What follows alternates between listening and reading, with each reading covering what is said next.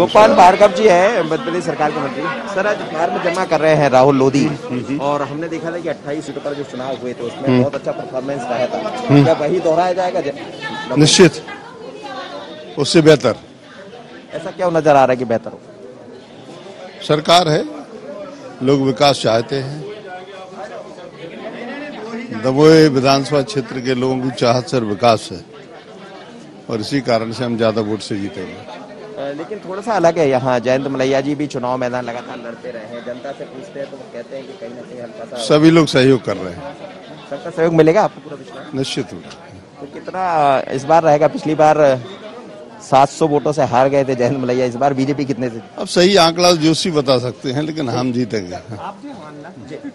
चलिए गोपाल भार्गव जी है कह रहे हैं कि जीतेंगे यहाँ और जो जनता का आशीर्वाद मिलेगा, निश्चित रूप से अच्छे वोटों से जीतेंगे। नायडू के साथ मनोज सनिया ट्वेंटी फोर दमोह